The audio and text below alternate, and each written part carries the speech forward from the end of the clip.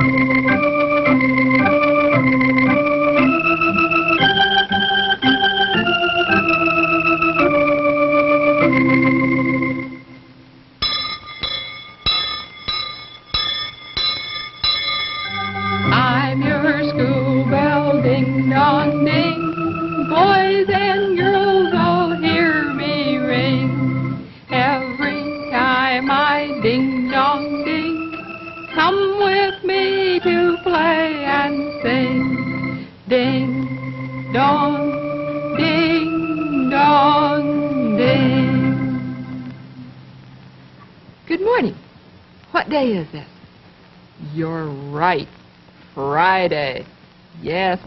do?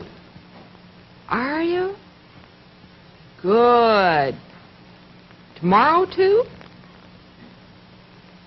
Oh, I hope it's a nice day and you can play outdoors and you get a good rest. Yes, and then maybe you'll be able to play outdoors again. Fine. You have lots of fun. I want to ask you a question. Have you ever been to the dentist? Do you know who a dentist is? Who? Right. He's the man who fixes your teeth. hmm He does. He has a chair that's something like the barber's chair. When you crawl into it, climb up, crawl in, what happens? He makes it get higher and higher and higher and higher. That's right. You're right. Sometimes it does hurt a little. But when you have to have something fixed, it doesn't make any difference, does it? No. So if you've never been to the dentist yet, when the time comes for you to go, you know who the dentist is and what he does. And then you'll know what to expect. When I woke up this morning, I thought of something that I wanted to do today. Something I haven't done for, oh, quite a while. I want to blow bubbles. I want to blow bubbles. And here's the table. Look at this. Yes, tub with water, a jar with soap. Put some soap in. You like to blow bubbles, too. Do you? You're going to blow bubbles after a while? I know. I didn't tell you ahead of time we were going to blow bubbles today. Now I want to mix the soap all up. Yes, I use the bubble pipe just to mix it. Sure. Well, you do have to put enough soap in if you have a big tub like this. Why? Can't blow bubbles with just plain water. Can't do it. No. I wonder if I'll get big bubbles or little bubbles today. I don't know. You ready to watch? Really? Want me to blow hard or just a little? Blow slowly? All right. See, here's the pipe. Now let's see if I can get down slowly.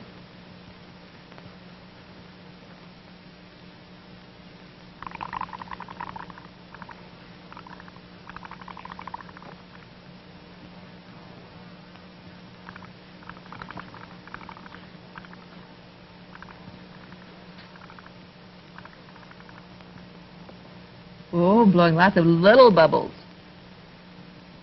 Maybe if you listen, you'll hear me blow bubbles. There, some of them fell off.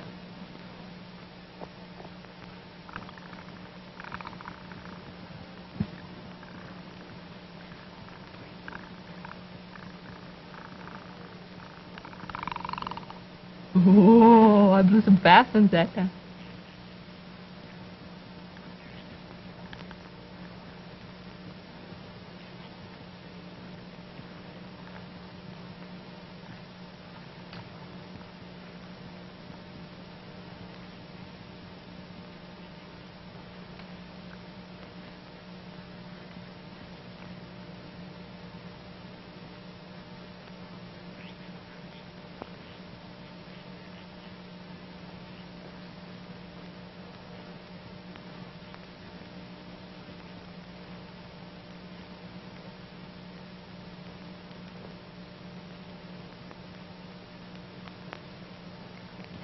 Big one. Look at... Oh, it burst. Let's try it again. Oh, I know. Yes, it does too, doesn't it? Takes a lot of breath to be able to blow bubbles. Sometimes you have to stop and take another breath. Sure. You have to be careful not to tilt the pipe back, because if you keep it right out straight, what happens? You get a mouthful of soapy water. Sure. Now let's see what happens.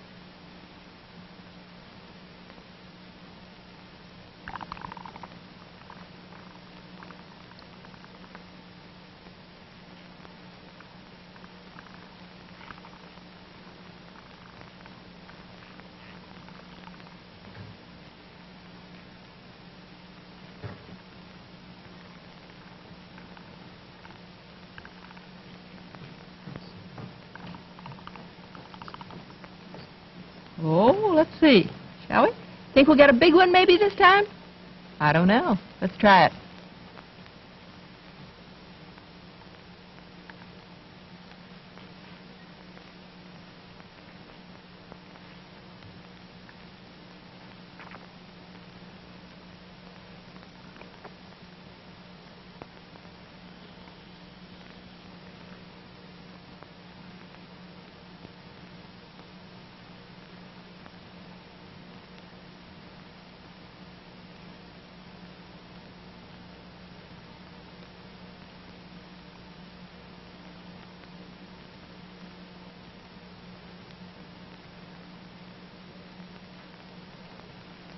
Didn't get really very big ones, did we?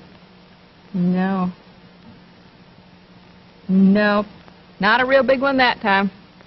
Maybe some other time we'll get a big one. Now, when you finish blowing bubbles, what happens? Yes. You always dry the bubble pipe. Why? So that it won't break. You dry it very carefully, inside and outside. That's the important thing. Sure. Oh, that was fun. Sometimes to blow big bubbles and sometimes little bubbles. And sometimes they make noise. And sometimes they're very, very, very quiet. Yes. Did you hear them? You heard the noisy ones, but you didn't hear the quiet ones. No. Look who's right here. Well, all of them right here in the crib together. So many dolls. Goodness me. Are you comfortable in there? Are you? Well, I have a book with some poems. Oh, some of my favorite poems. And I want you to hear them. Do you remember when you sent a picture, a picture of a turtle, a big turtle? Oh, and you made one out of clay, too. Do you remember that? And I said we had a poem about a turtle, and that someday I would find it. Remember that? Oh, this is a wonderful poem. It was written by Vachel Lindsay. And it is such fun. Maybe you know it. If you know it, maybe you can say it with me. And it's called The Little Turtle. It's about a little turtle. There once was a little turtle. He lived in a box. He swam in a puddle, and he climbed on the rock. He snapped at a mosquito. He snapped at a flea. He snapped at a minnow. And he snapped at me. He caught the mosquito. He caught the flea. He caught the minnow. But he didn't catch me. Isn't that fun? Oh, I like that. Did you think that that mosquito was going to catch you? Did you really? No, when you know Vachel Lindsay wrote another one. And this one is about the moon. The moon. Yes. Oh, and it has such an interesting title. The moon, the north wind's cookie. The moon, the north wind's cookie. Isn't that a funny one? You know what it means? Well, you remember we talked about crescents and a new moon? It was a tiny crescent. Do you remember that? Well, and then you got a full moon. All right, well, now you watch. You listen. The moon's the north wind's cookie. He bites it day by day until there's but a rim of scraps that crumble all away. The south wind is a baker. He kneads clouds in his den and bakes a crisp new moon that greedy north wind eats again. That's an interesting one, too, isn't it? Very interesting. We have one more. Oh, this one is lots and lots and lots of fun. Guess what the name of this one is? Oh, it's about something that you see all the time. Mm-hmm. It's called My Shadow. Did you ever see your own shadow? What does it look like? Sometimes is it short and fat? Sometimes is it tall and thin? Oh, this is about my shadow. Listen. I have a little shadow that goes in and out with me. And what can be the use of him is more than I can see. He is very, very like me from the heels up to my head. And I see him jump before me when I jump into my bed. The funniest thing about him is the way he likes to grow. Not at all like proper children, which is always very slow. For he sometimes shoots up taller, like an India rubber ball. And he sometimes gets so little that there's none of him at all. He hasn't got a notion of how children ought to play and can only make a fool of me in every sort of way. He stays so close beside me, he's a coward, you can see. I think I'd think shame to stick to Nursey as that shadow sticks to me. One morning very early, before the sun was up, I rose and found the shining dew on every buttercup. But my lazy little shadow, like an errant sleepyhead, had stayed at home behind me and was fast asleep in bed. Oh, shadows are lots of fun, aren't they? Yes, they are. Just lots and lots and lots of fun. Sure. You can play with your shadow. You can wave at your shadow. You can do all kinds of things with your shadow. Where have you ever seen yours? On the sidewalk? On the wall? Have you? On the garage door? Did you like that? Did you like that story about a shadow? Did you? You liked all three of those poems? Oh, I think you know some of them. We'll have to say them again, won't we? Again and again, and then we'll all learn them. Sure, it'd be fun to say those. We wouldn't need a book. No, we wouldn't need a book to read out of. Would you like that? Go. Something else I want to show you. It's right here on the table. Right here. Look what we have. You know this, don't you? What is it? The big yellow box with the big blue letters on it. What does it say? Kix Crispy Corn Puffs. That's right. This is a new box, too. Look at this. Just ready to put on the pantry shelf so that it's where there, right on the shelf when you want it for breakfast. Or for lunch. Or for supper. Sure. Say, wouldn't it be fun to come down to breakfast some morning and find a bowl of Kix that looked like this? Smiling right up at you. Look at that. Blueberries, two eyes, a nose, and a mouth. That mouth is really smiling. Isn't it? Yeah. And we have another bowl of Kix, too, right here.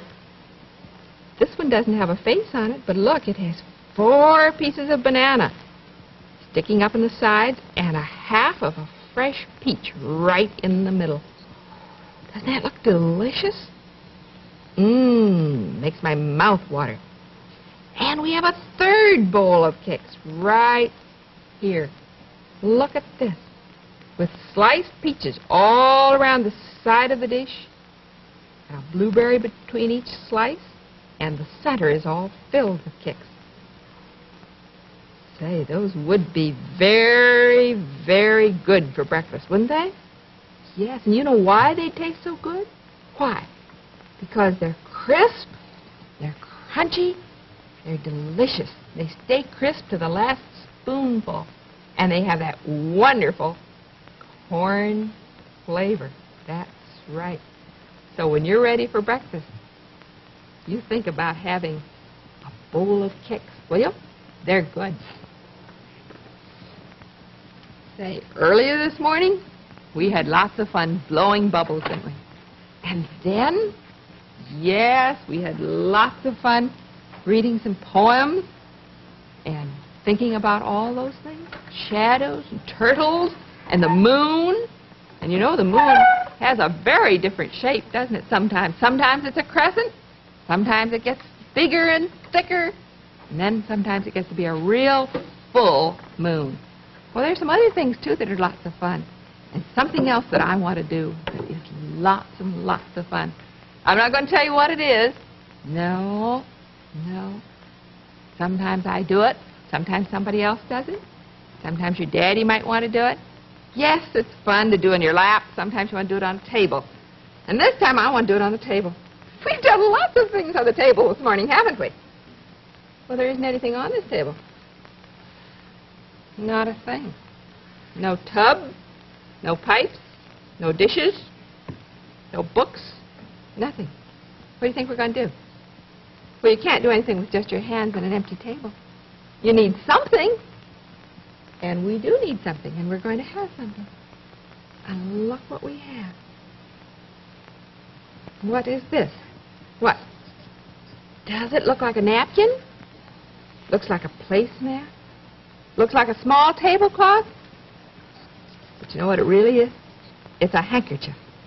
Just like the one your daddy has, or your granddaddy, or your uncle. Sure. Mm-hmm. It's a big, man-sized handkerchief. Did you ever play with just a handkerchief? Did you? Well, look. This is what we're going to do.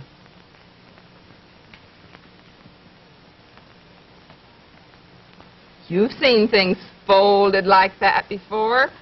Why, of course you have. Makes a triangle. It really does. It makes a triangle. Do you know what I'm going to do with this triangle? Watch. Just with my hand. I haven't anything else. I'm going to put it, put my hand under it like that. See? And then I'm going over and get this corner and poke it up here. And pull it up like that. See? And then I'm going to take this corner and put it down under here and poke it up, pull it up. Here we go. Just like that. That doesn't look like very much yet, does it? Put this corner under here. And now I'm going to pull it up a little more. And pull this one up a little more. And look what we have. What do we have? What do you think it is? A rabbit with floppy ears. Sure, his ears don't know which way to flop first. Yeah, sure. Oh, there's so many things you can do with a handkerchief. Let's start again. We'll leave it folded this time. Just like that. See? See, it's folded again, just the way it was before. I'm going to turn it this way for a minute. And I'm going to start rolling at this corner roll it, and roll it, and roll it. Then I'm going to start at this corner, and roll it, and roll it, and keep on rolling. I'm going to roll both of them. Well, what do you think this is going to be? You don't know? You're not sure? what does it look like? What? Just two? Well, it does. It looks just like a rolled up handkerchief. You're right. I'm going to bend it over this way. And get that right there. And take this one and pull it underneath. I'm going to hold that part like that. Then I'm going to pull. Sometimes they pull easily and sometimes they don't. Just depends sometimes. Well, look what came out. Yes, look at this. Who's in here? In a cradle, little hammock. Two dolls, one. They're very close together. yes, but there are two of them. Look. And you can swing See? Just like that. Playing just with a handkerchief and making things. And you pull it right out again, what do you have? Just your handkerchief. That's right. Just a large-sized handkerchief. Say, you know what I think would be lots of fun? When your daddy or granddaddy or mother or uncle or someone comes home tonight, I think it would be lots of fun for you to ask him or her to make out of a handkerchief a rabbit or a cradle with two dolls in it. Will you do that? Oh, what will you do if they say they don't know how to do it? Will you? You'll be able to help them? Show them how to do it? Will you really? Good. Oh, because I think they'll be surprised and pleased, too. It's lots and lots and lots of fun. So you try it. Maybe you'll think of something else to make. Not a rabbit, not dolls in a cradle. That would be fun. Yes. You know what I want to do now? Oh, this is what I want to do. Haven't played with it for a long, long time.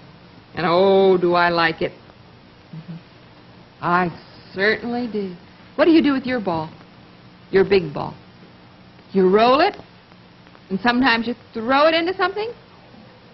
You know what I want to do with this one? Watch.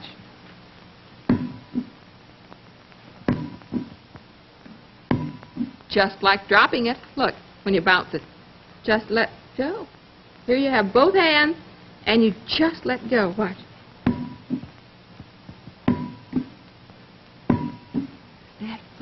Where would you bounce the ball? Your ball won't bounce. Why? Oh, it's a big beach ball. Mm-hmm. And it has a place at one end that makes it so it won't bounce. Well, this is a rubber ball. You don't have to have a big ball to bounce it. You can have any size ball. Yes, you can have a little ball or you can have a big ball. But remember that if you miss it, a ball rolls away, doesn't it? And that's what you have to remember to hold on to. If it rolls away out into the street, you wouldn't run after it, would you? No. No. And today, remember, is Friday. So there's no ding-dong school tomorrow and no ding-dong school on Saturday. That's right. But there will be again on Monday. And you're going to have a fine weekend, aren't you? Good for you. You just have a good one. You know what time it is? It is. Who's at home with you? Where are they? Do you remember? All right, because Miss Helen is all ready to play, and you remember where to go. All right, go get them.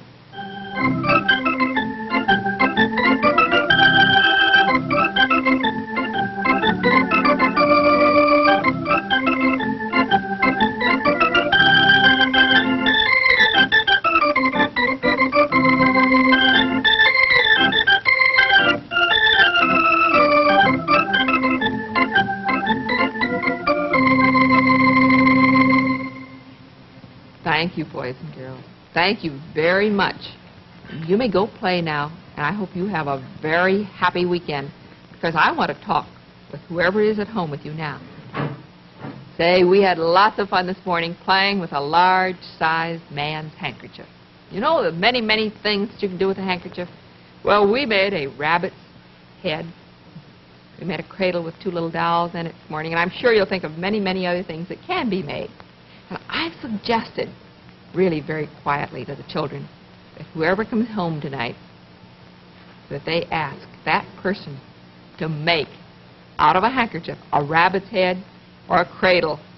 And if they can't do it, I think the children might be able to show them how. It's a little tricky at first, and we'll do it again one day next week, just in case they haven't gotten it, just in case they don't remember how to roll it. We'll try it again, but just think what fun it would be to ask someone to make one for you and not have them know how. Oh, maybe even if you know, you'll pretend that you don't. They would love that. And of course, playing with a handkerchief is the kind of thing you can do in the car, in an airplane, on a train, just anywhere, on a picnic, you know, when things get just a little bit restless.